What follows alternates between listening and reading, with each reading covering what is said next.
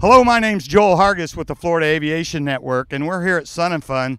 And we were riding around in the golf cart looking at airplanes, and we rode by this, and I said, "Stop! We gotta, we gotta show people this thing. This is a beauty." And so I am here with Dave Allen and his wife Jean, and this is a 1934 Waco YKC. 1934. Yes. All right. And so, how long has he been working on this? We worked on it for 10 years together.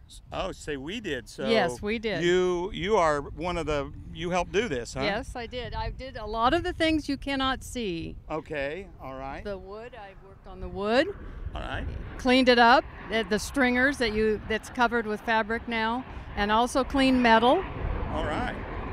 So I'll tell you what. Uh, are you? Did you put this in competition this year? Is, is this being judged? No, it can't be Why is that? because it's won. Oh, it's already won before.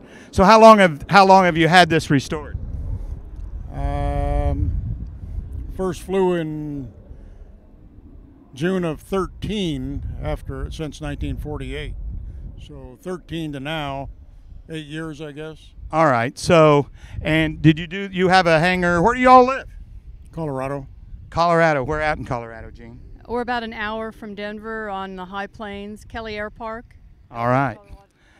And so you say this plane, it's a, a 38, but it hadn't flown since 40. uh, It, It's 1934. okay. Was operated by the state of Ohio National Guard for five years. Flew the governor around, and then civilian, and then uh, went over on its back in 48, and then first flew again when we finished it in June of 13.